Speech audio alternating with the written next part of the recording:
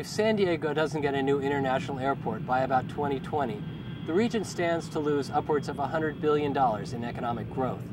But the Airport Authority and a countywide vote have determined that there is no acceptable land based site. To meet this need, I founded OceanWorks Development. Our first project is a self sustaining, three square mile facility permanently moored about 10 miles offshore. We call it O-Plex 2020. With a dual runway international airport as its anchor tenant, this iconic ocean complex will also host renewable ocean energy plants, a desalination facility, and over 200 million square feet for private enterprise.